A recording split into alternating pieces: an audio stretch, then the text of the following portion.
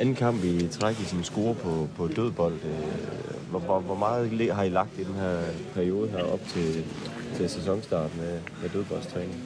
Nej, vi har da haft fokus på det. Øh, fokus på at, ja, at komme i nogle bedre situationer og ja, få, få puttet nogen ind. Øh, vi har ikke været, eller jeg har ikke været voldsomt farlig på, på dødbolde, øh, men ja, øh, fik også råd i FCK mod FCK, og der blev det så varmt, men så det er noget, vi arbejder på, og ja, jeg synes, det ser fint ud. Var det derfor, du jublede, som du gjorde?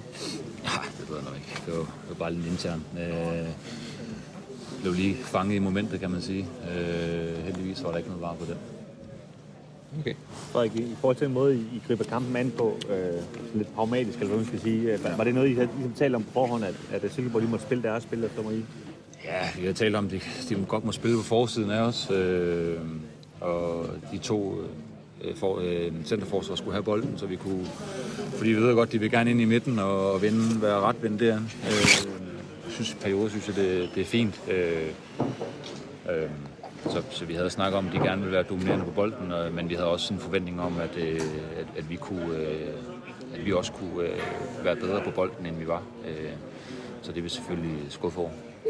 Ja, det er som om, det, det er måske lidt for direkte i perioder, eller hvad? Sådan... Ja, det gør det. Jeg tror, vi bliver lidt for, for ivrige i at spille den første løsning, øh, vi ser. Øh, for der var jo egentlig nogle gode situationer og momenter, når vi erobrer ind i midten.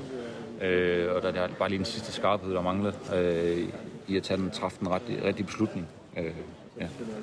I forhold til, til den her top 6, der er ved at, at, at snappe til nu her, øh, kan man sige, et point i dag er jo ikke sådan jordens undergang, men, men på grund af den måde, det sker på, er det, er det sådan en, en tung følelse, eller hvad? Ja, det er tungt. At stå med tre point så tæt på, øh, det havde selvfølgelig... Ja, det havde, øh, så havde vi haft et andet udgangspunkt, kan man sige. Men samtidig stå med fire point i de første to kampe, øh, havde vi nok også måske solgt den for inden. Øh, så er det sådan lidt, ja, jeg var klar over, at øh, tre point mere, havde været, eller to point mere nu havde været godt, men øh, faktum er, at øh, vi fik et point i det. Hvad kræver det her i de sidste tre kampe mod OB, Randers og Horsens? Hvad siger du? Hvad kræver det for at nå med i top 6? Her i de sidste tre kampe? Jamen, det kræver, at vi vinder nogle kamp. Øh, vi skal vinde på fredag mod øh, Horsens. Øh, til at starte med, at vi tager en kamp ad gangen. Øh, så, øh, så, så tre point i næste kamp, det, det kræver det.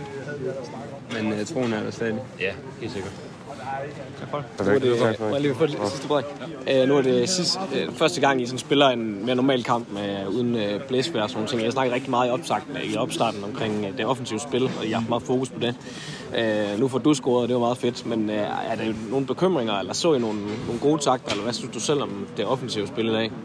Jamen, jeg synes i perioder øh, har, har, vi no, har vi nogle gode omstillinger, nogle gode muligheder, og det er lige det sidste, der mangler. Den sidste aflevering, og, og det er jo noget, vi har fokus på. Øh, så, men at bedømme vores øh, angrebs øh, ud lige for den her kamp her, det er måske lige sort-hvid nok. Øh, øh, nu har vi en kamp mod Horsens øh, på fredag, øh, og så ja, kan det være, at du kan stille mig det samme spørgsmål der.